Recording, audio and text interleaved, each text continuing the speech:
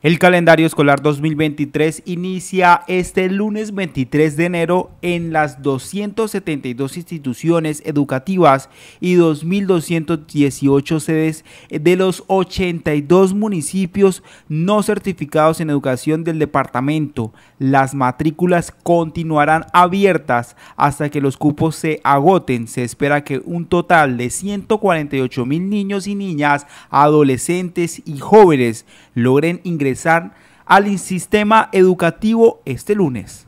A la fecha tenemos 125 mil estudiantes caracterizados ya en el CIMAT.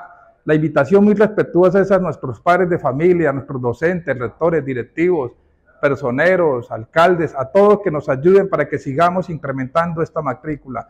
Tenemos tiempo aún todavía, hasta el 23 de enero que iniciamos clase. Por favor, lleven a sus hijos, acompáñenlos totalmente gratuito al lugar más cercano, a su institución educativa más cercana. Nuestra meta son 148 mil niños caracterizados y inscritos en el esquema escolar.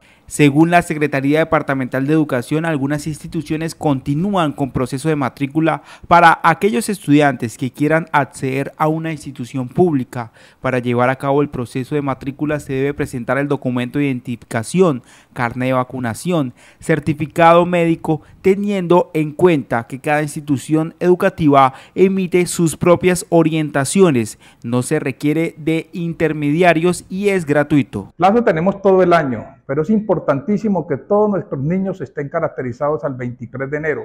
Beneficios, programa alimentación escolar, transporte escolar, inician sus clases con sus demás compañeros. No los dejen para la última hora, por favor. Todavía hay tiempo. Tenemos estos días para que matriculen a sus hijos. Plazo hasta todo el año, pero iniciamos clase 23 de enero. Estaremos acompañando con mi equipo de trabajo en diferentes instituciones para hacerle seguimiento al primer día de clases. Si Dios nos lo permite, estaremos en Vélez haciendo acompañamiento, estaremos en, la, en Puente Nacional haciendo acompañamiento, con nuestro primer día de clase, con nuestro primer día del programa Alimentación Escolar. Este año escolar, los estudiantes contarán con una planta de maestros en el departamento que responde a la capacidad instalada en los colegios. Además, 81 docentes orientadores estarán dispuestos para fortalecer el acompañamiento psicosocial en las instituciones.